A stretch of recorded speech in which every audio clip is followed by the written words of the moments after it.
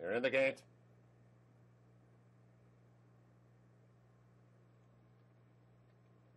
And they're off.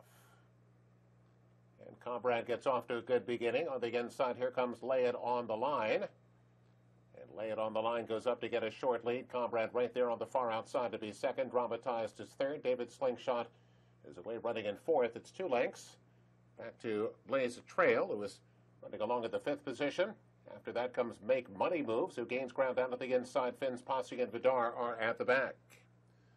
Just less than a half mile to run. Comrade goes on, and Comrade, with three furlongs to go, has opened up a three and a half or four length lead. Lay it on the line could not go with Comrade. About two and a half lengths to Blaze a Trail, who's coming on three wide. Dramatized is in between horses, down on the inside, David Slingshot. And then it's Vidar Finn's Posse, and Make Money Moves is now drop back last. So Comrade has the lead. Under a hand ride turning for home, Comrade a four length, almost a five length advantage now.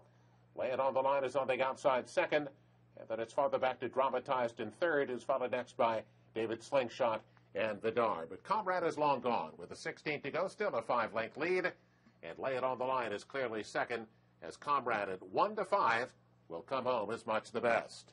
It on the line was second, very close there for third between Vidar and Dramatized.